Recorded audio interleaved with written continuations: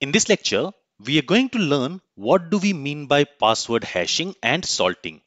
And again, this is going to be a theoretical lecture and we will learn all the important points to know about hashing and salting a password. So let's first start by understanding what do we mean by hashing. Now, when a user registers to our application through sign up or registration process, the user will also have to provide a password while creating his account. Now the user is going to provide a plain text as the password during the registration. But when the web application is saving that password in the database, we should never save that password as plain text in the database because of the security concerns. If for any reason a hacker gets access to your database, he will have access to the username or email of the user and the plain password. And the hacker can use it to log into your application as a valid user using other users' credentials. Not only that, if the developer of your application also has access to the database where the user details are saved, he can see the username and the plain password of each and every user. And if the developer has a malicious intent, he can use any of those users' credential like the username and the plain password to log into the application and do something unethical. As you can see, Currently in our Nest.js web API application, whenever we are creating a user, we are taking the username of the user, email of the user and password of the user. Now from the client, the user is providing a plain text as the password. And we are saving that same plain text password in the database also. And we should never do that. For a secure application, you should never save a plain password as it is in the database because it has several security risks. Now to avoid these security risks, we must hash the user password from the API before saving it in the database. So hashing of a password is the process of transforming a user's password into a seemingly random string of characters of fixed length using a mathematical algorithm called as hash function. And this resulting string is known as a hash or a message digest. So for example, in a secure application, when a user registers through a client, the client can be browser or your Postman application, anything. So during the registration, when the user provides his username, email and password, all other details are saved as it is. But before saving the password, the password is first hashed. That means Using this password, a random fixed length string is generated. And that generated string is called as hash. You can also call it as hashed password. So this hashed password will be saved in the database instead of saving the plain password. Now, let's talk about some key characteristics of a hashed password. First of all, regardless of the length of the input password, the resulting hash will always have a specific predetermined length. That means it does not matter if your password is of 8 characters, 10 characters, 12 characters or 20 characters. The hashing algorithm is always going to generate a random string of same length. So we can say that hashing is the process of generating a fixed size output from a variable size input. Another thing which you need to remember is hashing is a one-way function. That means once a string is hashed, from that hashed string, you cannot get the original string. So it's practically impossible to reverse the hashing process and obtain the original password from its hash. Remember that it's not an encryption process which can be decrypted. So the question is how will you compare a string password with the hashed password whenever a user tries to log in? The answer is the same input will generate the same hashed password. Okay, so the same input will always produce the same output, the same hash, provided it is using the same hashing algorithm. So during the login, when the user will provide his username and password, from the client, he's going to provide the plain password. But in the database, a hashed password is saved. So while comparison, you again hash the password provided during the login and then you compare it with the hashed password saved in the database. Because as we learned, same input will always produce the same output hash. So during the login, we take the plain password from the login request, we again hash it, and then we compare that hashed password with the hashed password saved in the database.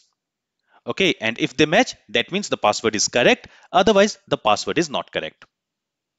Now, in this section, in this course, we are going to use bcrypt algorithm to hash as well as compare the hashed password. And you will see that in the next lecture. So we will learn how to use bcrypt algorithm to hash the password before saving it in the database. And we'll also learn how to use the same bcrypt algorithm to compare passwords. Also remember that we are not going to dive into how internally the hashing algorithm works. That is completely out of the scope of this course. However, if you are still interested in learning about the internal working of hashing algorithm, there are many good articles available online which you can refer to. Now, in order to make guessing the password difficult and avoid rainbow table attack, we add something known as salt while hashing the password. Password salting is a security technique used during the process of password hashing. And it involves adding a unique randomly generated string known as a salt to each password before it is hashed. This combined value of password and the salt string is then passed through a cryptographic hash function to produce the final hashed password that is stored in the system's database. So salt is added to hashed password. It is basically prefixed with hash and it contains some random string. It is a fixed length string which contains random characters. The salt is added to hash to make the hash string more difficult to get plain password out of it. So whenever you try to hash a password with bcrypt algorithm, you can also add salt to it and it will return you the concatenated hashed password which is strong and more secure. So from our Nest.js web API application, whenever we are going to save a user, we are first going to hash the plain password of that user. We are going to add salt to it and generate more secure hashed password. And then we are going to save that hashed password in the database. Now, let me show you an example of how a hashed string looks like.